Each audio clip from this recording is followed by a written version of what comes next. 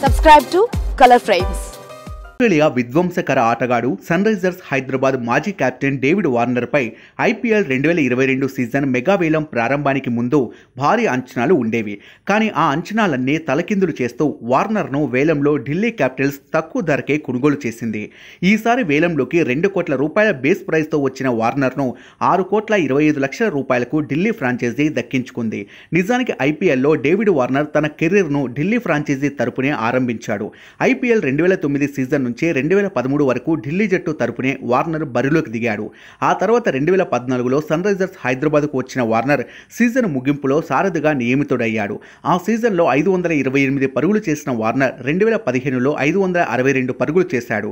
ఇక రెండు వేల పదహారు సీజన్లో ఎనిమిది వందల నలభై ఎనిమిది పరుగులు చేసి సన్ రైజర్స్ ఫ్రాంచైజీకి తొలి టైటిల్ అందించాడు.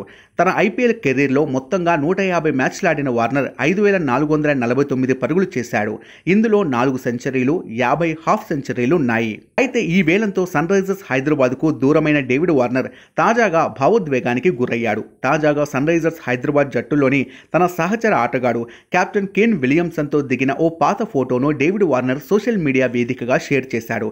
కేన్ బ్రదర్ ఇక నుంచి నీతో కలిసి బ్రేక్ఫాస్ట్ చేయలేను క్రికెట్ ఆడలేను ఈ విషయం గుర్తు తెచ్చుకుంటుంటే చాలా బాధగా ఉంది అంటూ క్యాప్షన్ ఇచ్చాడు ఇదిలా ఉంటే టీ ట్వంటీ వరల్డ్ కప్ రెండు వేల ఇరవై ఒకటి టోర్నీలో అద్భుత ప్రదర్శనతో player of the tourney award అందుకున్న వార్నర్ భాయ్ ఈసారి ఢిల్లీ క్యాపిటల్స్ తరపున ఎలాంటి మెరుపులు మెరిపిస్తాడో అని అభిమానులు ఆసక్తిగా ఎదురుచూస్తున్నారు please subscribe Color Frames Color ఫ్రేమ్స్కి subscribe చేయండి Subscribe to Color Frames. Please subscribe to Color Frames.